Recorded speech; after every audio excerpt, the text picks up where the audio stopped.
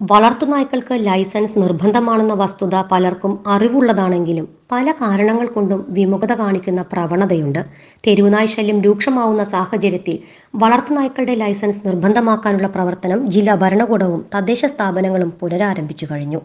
Integrated local governance management system വഴി ഓൺലൈനായും പഞ്ചായത്തുകൾ വഴി നേരിട്ടും ലൈസൻസ് എടുക്കാൻ സാധിക്കും. വീടുകളിൽ വളർത്തുന്ന നായ്ക്കൾക്കും പന്നികൾക്കും ലൈസൻസ് നിർബന്ധമാണ്.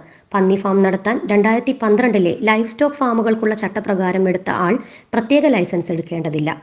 മൃഗത്തെ വാങ്ങി മുപ്പത് ദിവസത്തിനകം ലൈസൻസ് എടുക്കണം. ഒരു വർഷമാണ് കാലാവധി. തുടർന്ന് എല്ലാ സാമ്പത്തിക വർഷത്തിന്റെ ആരംഭത്തിലും പുതുക്കണം.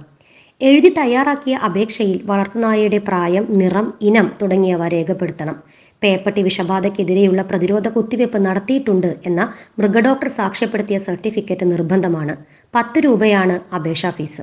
ലൈസൻസ് അനുവദിക്കപ്പെട്ട നായ തന്റെ സ്ഥലത്തിന്റെ പരിസരത്തല്ലാതെ അലഞ്ഞു തിരിഞ്ഞു നടക്കാൻ അനുവദിക്കാൻ പാടില്ല. ലൈസൻസ് നൽകുന്നതിനൊപ്പം മൃഗത്തിന്റെ കഴുത്തിൽ കെട്ടി സൂക്ഷിക്കാനുള്ള മുദ്രണം ചെയ്ത ടോക്കണും അനുവദിക്കും. ആരോനൂസ് അറിവിന്റെ വാർത്താലോകം.